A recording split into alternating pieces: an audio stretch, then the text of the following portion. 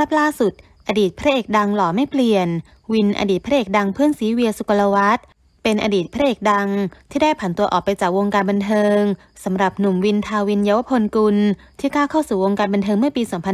2549 ในละครเรื่องพลิกดินสู่ดาว คู่กับสาวขวัญอุสามณี และแสดงร่วมกับเพื่อนซีเวียสุกลวัฒน์ที่ผ่านมามาวิน เป็นนักแสดงช่องเจ็ดที่มีชื่อเสียงเป็นพระเอกในละครหลังข่าว จนทำให้วินมีผลงานด้านการแสดงเรื่อยมา จนได้รับรางวัลท็อปอวอร์ด 2006 นักแสดงนำชายจากละครเรื่อง เพื่อนรักเพื่อนร้าย และในปี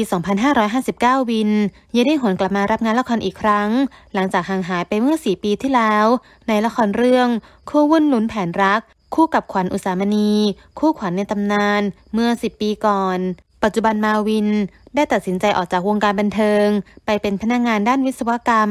ทำงานที่โรงงานเกลือปรุงทิพย์ที่จังหวัดนครราชสีมาโดยย้ายจากกรุงเทพมาอยู่ที่นี่เลย และเวลาว่างเจ้าตัวยังเป็นครูสอนดำน้ำด้วย ล่าสุด วินได้ออกมาอัปเดตภาพโชว์หน้าหล่อๆ ลงบนอินสตาแกรมอีกครั้ง คู่กับสุนัข พร้อมลงแคปชั่นว่า ท่าหมายเลขเก้ากัมมี่เซลฟี่